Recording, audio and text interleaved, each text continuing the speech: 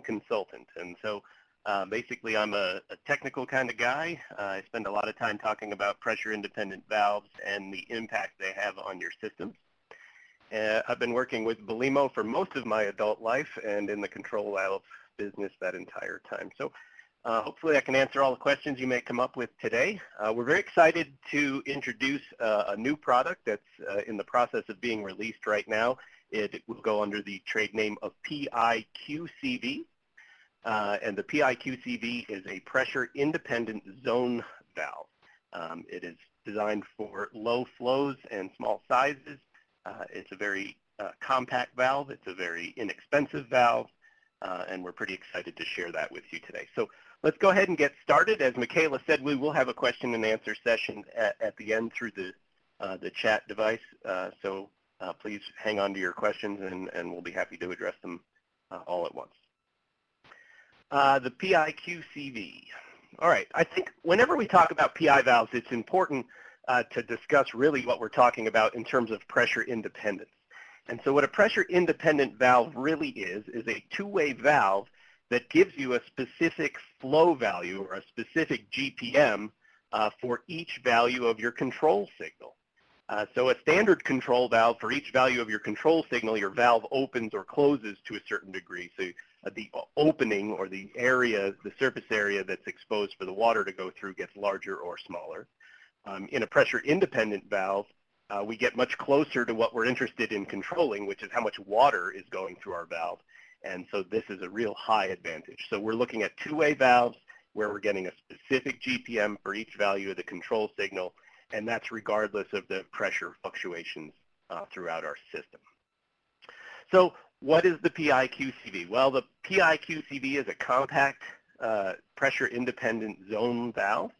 Uh, it is built on the Belimo CCV technology, which is the characterized ball valve. It is quite small, uh, in comparison to uh, other Belimo PI valves and other PI valves in the market. It's incredibly low power consumption. It's completely field adjustable, and it carries with it Belimo's five-year warranty. So let's go ahead and break this down a little bit. What's the big deal about having CCV technology? Well, at Belimo, we're a firm believer in utilizing the ball valve technology. We characterized the ball valve in the late 1990s when we invented the, the CCV.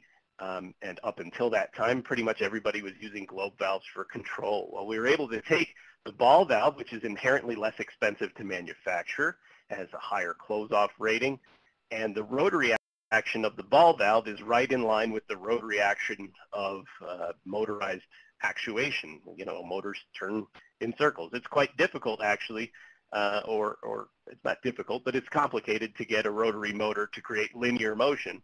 It's much simpler to get it to create a rotary motion. So that's why uh, Belimo bases all of our valve development around uh, rotary style valves.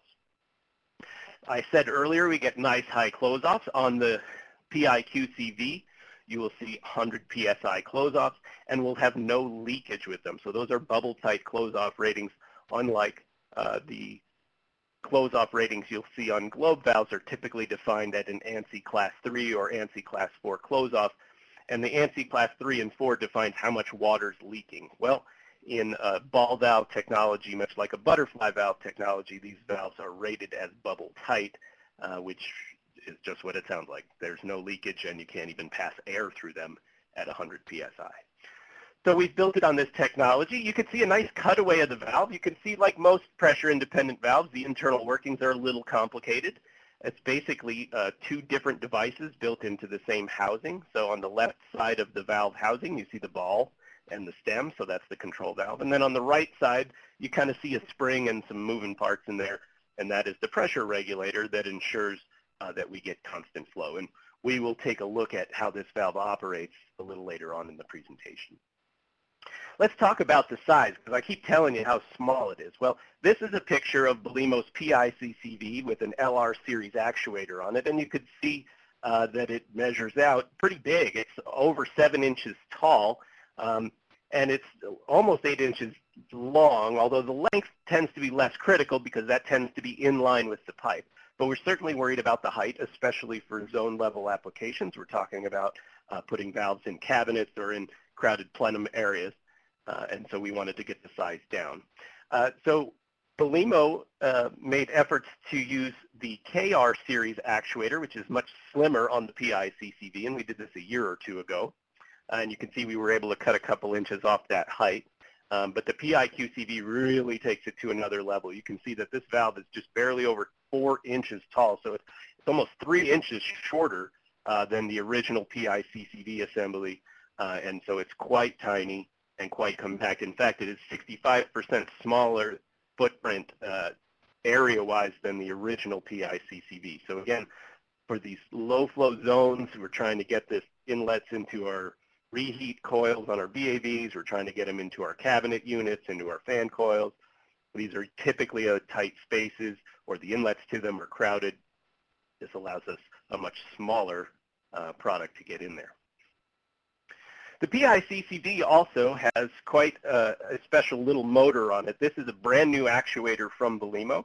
Um, it carries a, uh, a torque rating. I should know this off the top of my head, and I don't. Mm, I don't know what the torque rating is. It's enough to turn the valve, that's for sure. I believe it's about 18 inch-pounds, but I could be wrong on that. It comes in uh, non-fail-safe or fail in last position. It also has a fail-safe uh, version. Uh, this does not include a mechanical spring. It has a, su a supercapacitor in it that allows uh, for fail-safe operation. That's a really nice feature that Belimo's developed over the last 10 years or so, um, whereby the capacitor stores enough extra electricity uh, that when the power fails, we can drive that uh, valve either open or closed or really anywhere in between. Um, and so it, it allows us for very versatile fail-safe activity. One of the other nice parts about this motor is it has an exceptionally low electrical draw on it. It actually only requires 3 watts while the motor's running. Uh, so this is very minimal. It obviously saves some energy, um, but it also increases your transformer capacity. In other words, you can put a whole lot more units uh, per transformer than you could with a standard valve. And so let's kind of take a look at that. The KR series, uh, which we talked about before, uh, was that sort of slim actuator, or the LR series, which is the original one, uh, take between 1 and 2 watts per valve. So you could see that based on a 6 watt output of the LR series, you can actually wire up uh, six of these PIQCVs uh, for the equivalent power draw as you would um, from the LR series. And Belimo is fairly efficient even then. Some of our competitors are listing uh, electrical demands in the three and a half to, to seven or eight watt range per actuator. When you start looking at that, um, you know, if I have you know, three or 400 valves in a large building, you know, times the energy savings we're looking here, it actually starts to add up to numbers uh, that might be valuable to the owner. The other part about the PIQCV that's really nice is the field adjustment is very straightforward. What you're looking at here is a picture of the underside of the actuator. Um, that little T section or, or cross section in black in the middle actually is the part of the actuator that mounts with the valve stem. And you can see there's a little uh, a little panel, um, for lack of, a, lack of a better word, and it, it's numbered 1 through 6, um, and it has different gradations, and this is how we'd be able to set the flow. So let me bring up the little chart here. Um, this is, is a clip right out of our technical documentation, so it shows you how to do your field adjustment from the bottom. And each one of those positions, 1 through 6, um, or, uh, or N, which is nominal, or if you take the clip off altogether, all have different flow ratings. So you can see we have three valve bodies in the half inch size here. Um, the max flow on the smallest valve would be 0.9, 0.9 gallons a minute. That'd be if you remove the clip altogether. And then you could put the clips in the different positions to match the flow requirement of your coil. One thing I like to point out here is that the flow uh, can be set very low. So in the last few years, we've seen a trend towards very low flow demands on uh, VAV reheat coils, you know, two-tenths of a gallon a minute, three-tenths of a gallon a minute. Um, that was the specific purpose of designing this smallest uh, PIQCV valve was to address those particular types of applications. And you can see here we can control it 0.1, 0.2 gallons a minute. Um, there are notches in between the, the numbers, um, and so you can actually do much finer adjustment if you needed that. Um, within the technical documentation, we'll provide these graphs. So this takes a look at, uh, in this case, is the 1.9 GPM valve, and that's the characterization curve of that valve, and it shows you all the different positions uh, on which uh, you could set that. So just for example, if I needed 1.2 gallons a minute, I would just trace it across from the right-hand side and then down to the bottom here, and I would see I would go to the number six and then move it one more notch uh, around the circle there to get 1.2 as opposed to 1. And then also if you look up, uh, if you trace that uh, line up the graph, it'll show you the actuator runtime if you reset to that position, and that obviously would be very helpful if we were doing floating point application. We need to know the runtime uh, of the new set.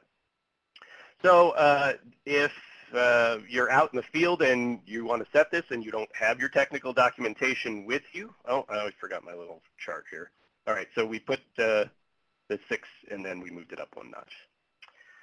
So if you don't have your technical documentation with you, uh, Belimo has given you a few more tools. Uh, what you're looking at here is the uh, zonetight.com website, and it has a flow tool.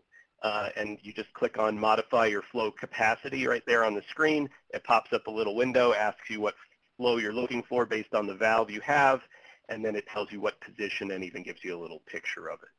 Uh, there will be an iPhone and Android app for this as well, uh, so you can keep that right on your phone uh, when you're doing these resettings. So We've tried to make it simple enough to access this information and keep the product versatile enough that you have in a large number of set points uh, that you can try to utilize to get the exact flow that you need. One more thing that comes into play when you're not, not in the floating side, but when you're using modulating actuators, so the SR version or the 2 to 10 volt version of the actuator, um, they have an adaption button on it. And so once you set your clip position, you hit the adaption button one time, and the actuator will rotate itself uh, until it hits the end stop on both ends, and then it will rescale the control signal over the new range. So you don't lose any of your control resolution just because you set your 0.9 GPM valve, you only really need 0.6 GPM. Now 0 to 10, or 2 to 10 rather, would be between uh, 0 GPM and 0.6. And so we don't cut off any of our control resolution, which always helps us out. All right, so we talked a little bit about the features of this product. I always like to give people an idea of how a pressure-independent valve works because, well, frankly, I'm kind of a nerdy valve guy, and so it's fascinating to me. But the more I talk about it, I tend to hear people think that it's interesting, at least to some degree. So let's take a look at this. Uh, so there's our cutaway. I'm going to give a little schematic here uh, that might be a little easier to see. So you can see that water flows left to right through the model that we have here. And you'll notice that I have these P numbers. Now P1, which you see on the right side of the valve there, whoops, uh, represents the inlet pressure. Uh, let's go ahead and do um, the breakdown here. We kind of talked about this before, is that the left-hand side of the valve is the ball valve part, and then the right-hand side is the pressure regulator. So the job of a pressure regulator in a pressure independent valve is to ensure that the pressure drop over the ball valve is always constant. That's how we make the valve pressure independent. Essentially, the regulator consumes the excess pressure and leaves only the same amount for the ball valve at all times, and that's how the valve becomes pressure independent. Um, so again, let's take a look at this. P1, as I started earlier, is our inlet or upstream pressure. It's the valve, uh, the pressure that arrives at the valve. Um, and then we're going to define a second pressure, and we're going to call that P2. And P2 is the pressure uh, inside or after the effects of the regulator. So as the water sneaks through this opening here at that zigzag right before it says P2, just to the right of P2, the water kind of sneaks in there. Well, it takes a pressure loss when it goes through that small area, and we can adjust the amount of pressure that is consumed by making that area larger or smaller. So right now, uh, there's a fairly large opening uh, to let water into P2, and then if as the regulator moves left to right, uh, that area will open or close. And I have a, a, little animation I'll show you on the next slide that might help you uh, visualize that. So P2 is the pressure after the effects of the regulator. And then P3 is going to be the pressure after the effects of the ball valve. So P2 and P3, or the difference between P2 and P3, is how much pressure drop the ball valve or the control valve sees, and that's the number we need to keep constant in order to maintain pressure independence, is the pressure differential between P2 and P3. And the way we do that is by sampling P3 on the opposite side of a diaphragm of P2, and so that when those numbers change, they can modulate their position mechanically uh, and make sure they stay constant. So what we're going to do is we're going to sample P3 back here in this little chamber. Um, and then on the next slide, when I animate, uh, you'll be able to see how when P2, or more accurately, when P1 gets larger and then P2 gets larger, um, the regulator is going to shift so that the differential between P2 and P3 stays consistent. So let's go here to the animated slide, and you can see again on the inlet or right-hand side of the valve, we have P1, we have P2 inside the regulator portion after the effects of the regulator, and then we have P3 uh, in a couple of different places because we sampled that pressure. And then if we increase P1 and P2, we can animate this, and what's going to happen is that P2 now pushes uh, to the right, basically, on the regulator against P3, which is pushing to the left. Um, and then if the differential is that P2 is significantly stronger than P3, it'll compress the spring. It'll create a smaller area for the water to sneak into the regulator, which means that it'll take a larger pressure drop, and then it'll start to balance itself out. And so as this run, runs with water through it all day, it's a highly dynamic system. So it's constantly in motion. The spring's compressing or decompressing depending on the changes in pressure. And so that area that the water sneaks through before it gets to the ball valve gets larger or smaller, just depending on the increase or decrease in pressure in that line.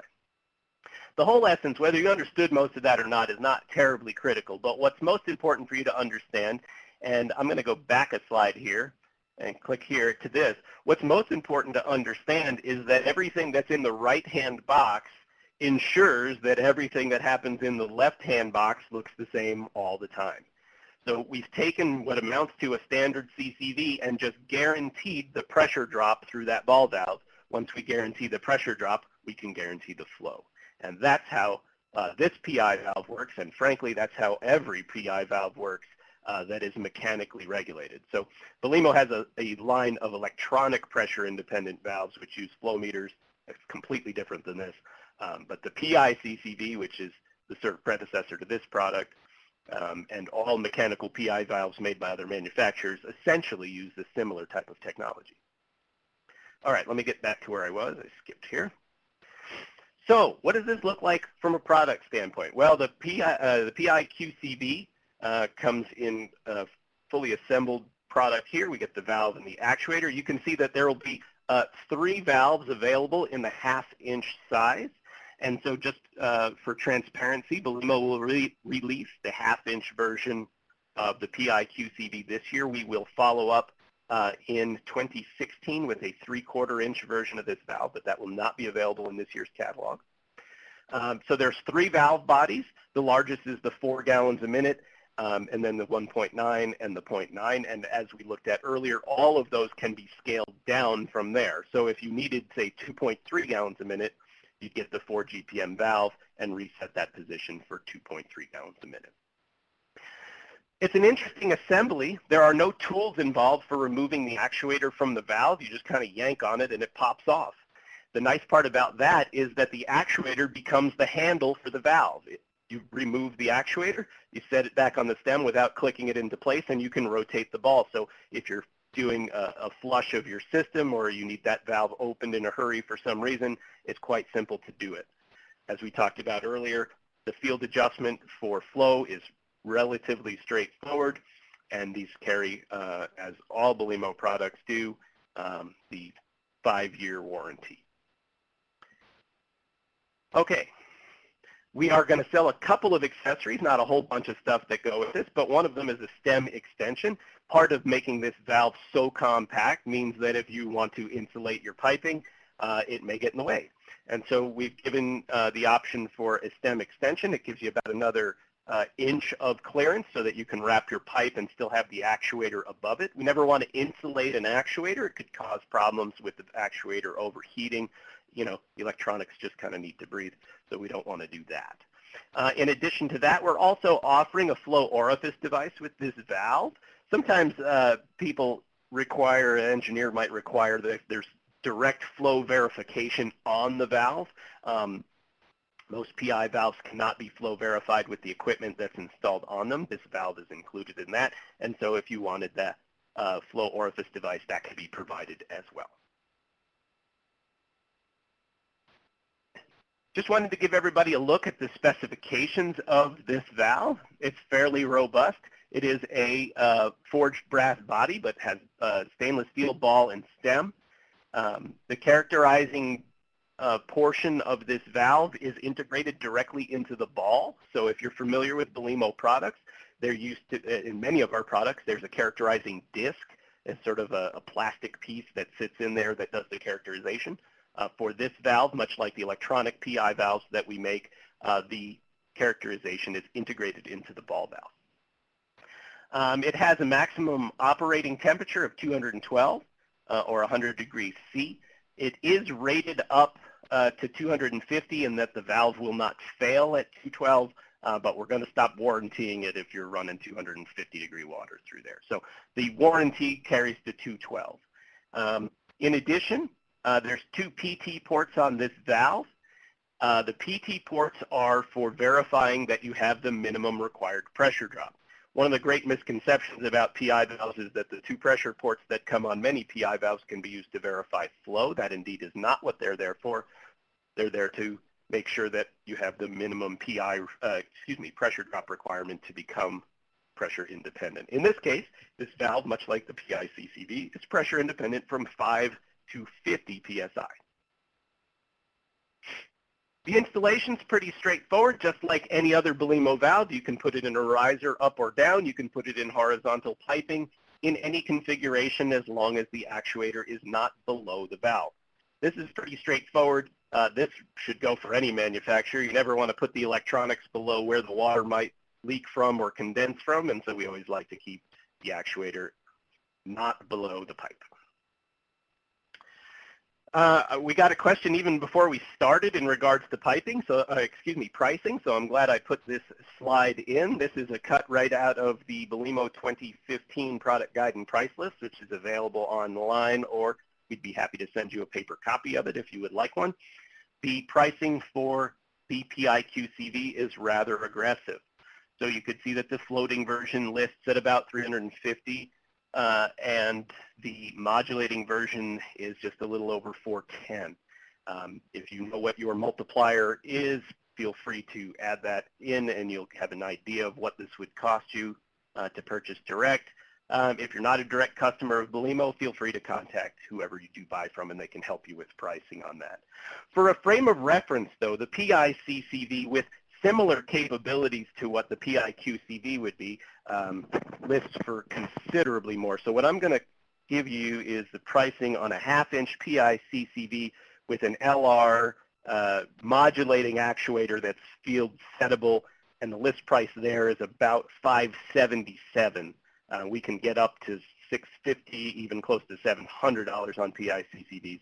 So you can see this is a substantial uh, price decrease. I recently did a pricing exercise with one of our good contractors um, based on his multiplier, um, and the PIQCV actually wound up being about 20 to $25 more expensive than buying a CCV of similar uh, capabilities. So that is $25 more than a non-pressure independent valve. To put this into perspective for you, that would mean that if you wanted to buy a CCV and put a balancing valve next to it, you would need to be able to buy that balancing valve and install it for less than $25. I doubt highly that you can do that. Um, this product will be priced aggressively enough that there really will be no reason to not use it. Um, it will be less expensive than the pressure-dependent solution on an overall project level. So uh, if you have more questions about pricing, go ahead and call your sales manager at, at Belimo or whoever you buy Belimo products through, and we'll be happy to break this down a little bit further. In terms of availability, we actually have some of these valves that we're shipping currently. In fact, we have the two smallest valve sizes, the 0.9 and 1.9 GPM valves, have some limited quantities, but we're avail are available now. If you call and order 700 of them, we probably won't be able to satisfy that order right now.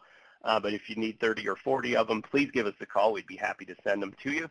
The full product release will be, well, if you call Belimo, they'll tell you July. I've worked for Belimo long enough to, that it might be somewhere between July and August. Uh, we'll have full quantities of all the sizes, including the 4 GPM. Now, as I said earlier, remember that next year in 2016, we will be following this product up with a 3 quarter inch versions.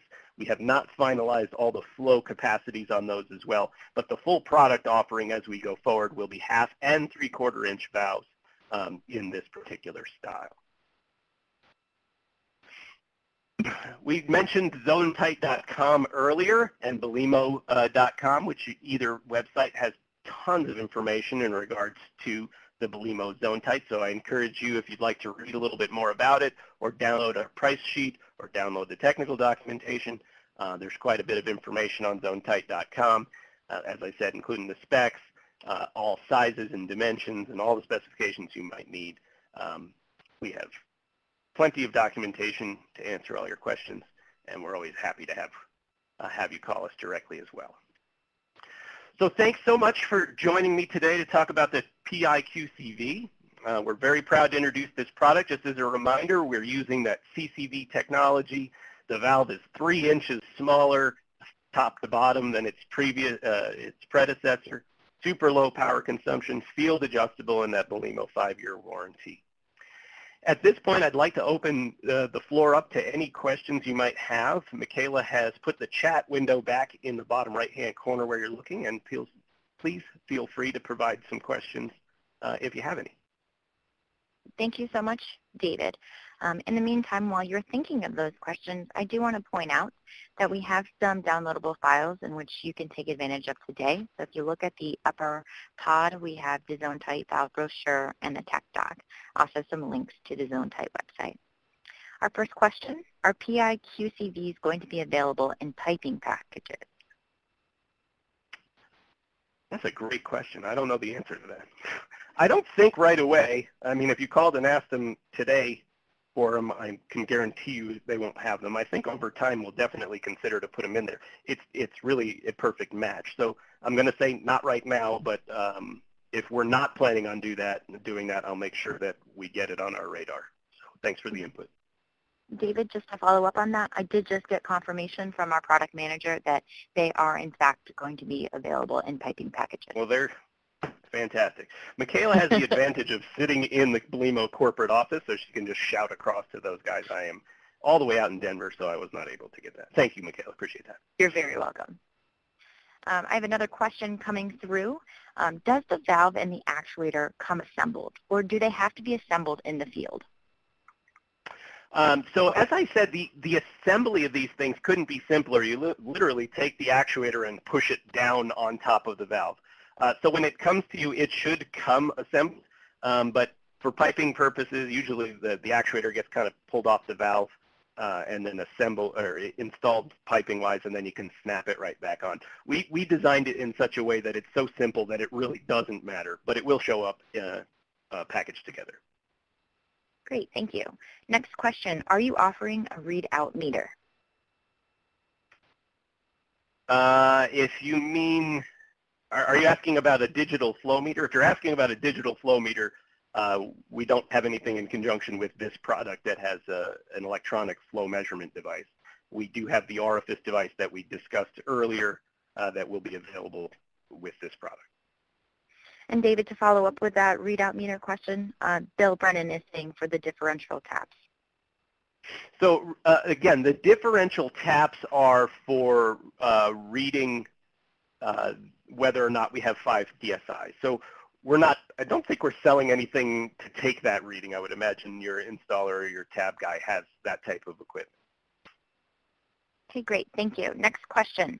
What is the electrical power requirement of the actuator, 24V or 120V? And what is the valve size range again? Excellent. Um, it, they are all 24 volt actuators. I should have started there. My apologies. Uh, so all the actuators on the PIQCV are 24 volt. Uh, the valves at this point are all half inch, uh, but the size, there's a, there's a few different uh, size ranges. Let me just back up a few slides. Uh, there we go.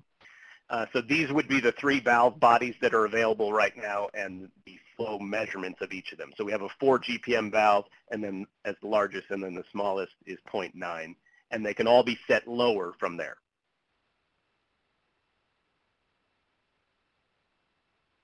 I'm also getting word that we actually have 110 to 230 volt actuators available as well. All right. Well, me being underinformed. Floating point. Are those in the book? I'm just gonna no. I'm just gonna check my catalog while we're sitting here. I don't that, believe they're in the book. Okay. Okay. So if those are uh, needed, please please let us know.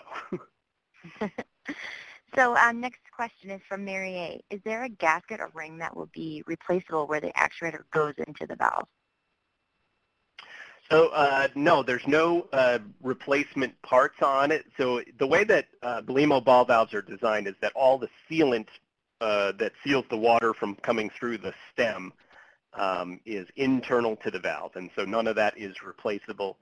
Um, Belimo has sold uh, something like four and a half million ball valves in the past 15 years, and we have a, a, a pretty good technology that we're comfortable with in terms of of um, keeping the water in the pipe. And so those are those are not replaceable. Okay. Can the fail-safe units be used as on-off application? Uh, yes, uh, they certainly could. Um, so remember, the fail-safe works using a supercapacitor, so uh, there's no reason you need to modulate these valves whether or not it uh, has fail-safe or not. We can, can drive it from all the way closed to all the way open, and then use the supercapacitor to fail in whatever direction you want. So it's a little different than the old style two-position spring return actuator where you give it power uh, and it drives open and then you cut the power and it springs closed. Um, this one you could tell it uh, where you want it to go. I mean, theoretically you could cut power, but you don't have to. We have a couple more questions coming through. I just want to also remind you that this webinar is being recorded so that we can use it as a late, at a later time. If you're interested in getting a copy of this webinar, feel free to email us at marketing at us.belimo.com. Or if after the webinar you come up with a question, feel free to give us an email and we'll try to um, answer your questions. Um, okay, so next question is from Bill. Stainless Stainless ball and stem on the new valve PICCV is chrome plated? Good question, Bill.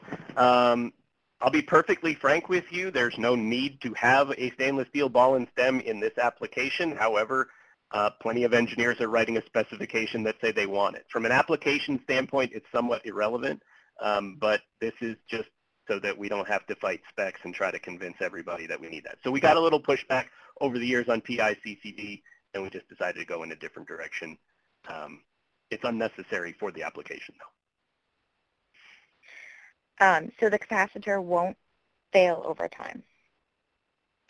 Uh, the capacitor is designed to outlive the lifespan of the actuator, so we certainly hope it won't fail over time. Um, one of the original, so capacitor use in actuators sort of had a, a, a nasty history, if you will uh, 15, 20 years ago, this was tried not by Belimo but other people, and it was a mess. Um, the technology of supercapacitors has changed so much in that time, and Belimo spent about five years of research and development uh, making sure that when we put a supercap in an actuator, that was not going to be the fail point. So I, I wouldn't have any worries uh, about that. Great. Next question. Will there be a 110 or 220 VCA version in the future? Uh, well, apparently, according to product management that we just found out from, we have uh, one of our universal power type actuators, which we call a UP, which will do anywhere between 110 to 220 or 230, uh, which we can uh, put on this valve now. It doesn't appear in the catalog, so we'll work uh, with your sales manager if that's a requirement, but apparently uh, this is something we could do today.